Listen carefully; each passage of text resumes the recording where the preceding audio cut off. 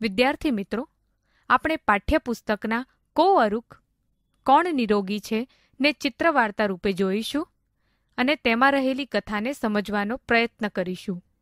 એકહ પક્ષી અસ્તિ. એક પક્ષી છે. સહ આકાશે અત્ર તત્ર ગચ્છતી.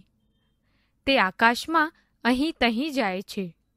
સહ પુનઃ પુનઃ વદતી તે ફરી ફરીને બોલે છે કોરક કોણ નિરોગી છે કોરક કોણ નિરોગી છે કોરક કોણ નિરોગી છે કોરક કોણ નિરોગી છે કહ નિરોગઃ ભવતી? કોણ રોગરહિત રહી શકે છે? પક્ષી દ્વારમ દ્વારમ અટતી. પક્ષી દ્વારે દ્વારે ભટકે છે. એકમ એવ પ્રશ્નમ પૃચ્છતી. એક જ પ્રશ્ન પૂછે છે. જનાહ ઉપહાસમ કુર્વંતી.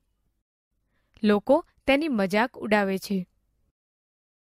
કહ અપી ઉત્તરમ ન દદાતી. કોઈ જવાબ આપતું નથી.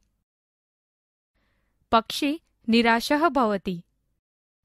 પક્ષી નિરાશ થાય છે. સહ વનમ ગચ્છતિ, વૃક્ષે ઉપવિશતી ચ. તે જંગલમાં જાય છે અને વૃક્ષ પર બેસે છે. વૃક્ષસ્ય અધઃ વૈદ્યર્ષિ વાગ્ભટઃ અસ્તિ. વૃક્ષની નીચે વૈદ્ય ઋષિ વાગ્ભટ્ટ છે. પક્ષી પુનઃ વદતી પક્ષી ફરીથી બોલે છે.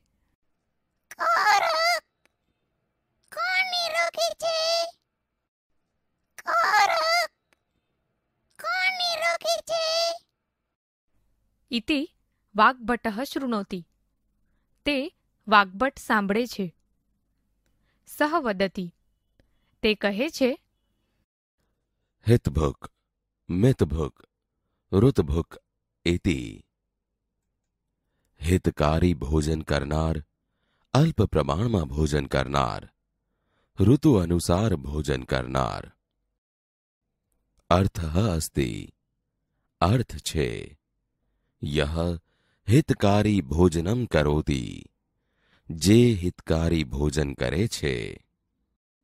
यह मीतम भोजनम करोति જે અલ્પ પ્રમાણમાં ભોજન કરે છે. યહ ઋતુ અનુસારમ ભોજનમ કરોતી. જે ઋતુ અનુસાર ભોજન કરે છે. સહ એવ નિરોગ ભવતી. તે નિરોગી રહે છે.